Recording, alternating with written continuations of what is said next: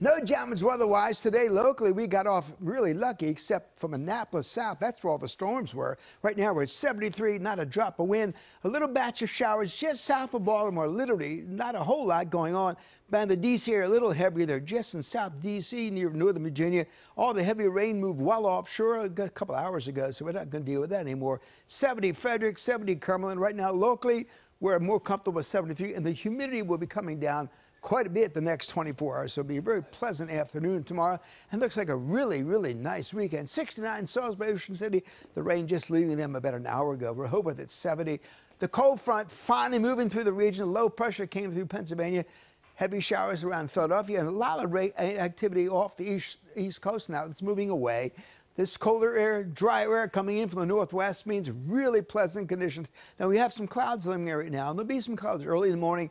Then things are clear. And there's another front to the northwest, even a little re, kind of a shot of a little bit slightly cooler air here for Sunday, but we're talking normal temperatures this time of year. No more 90s for the time being, but sunshine most of the weekend. Sunday, maybe a few clouds late Saturday night, early Sunday when that next front comes through. And then early next week, beautiful weather continues until we get to the middle of next week. That's when we have a next chance of showers and storms, maybe on Tuesday and Wednesday of next week. But some really nice weather for the next four days at least. Offshore, we're looking at a post-tropical storm possibly developing in the Gulf of Mexico, going to be impacting Florida the next couple of days. Well, a lot of rain there.